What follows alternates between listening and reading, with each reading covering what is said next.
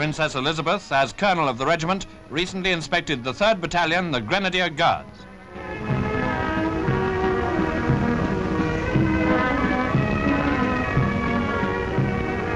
The ceremony was at Chelsea Barracks, and as you see, it was carried out with the precision and bearing for which the Guards are world famous. The last time Her Royal Highness inspected the battalion was in 1949 after their return from Malaya. They're shortly leaving for more service abroad, this time in Tripoli.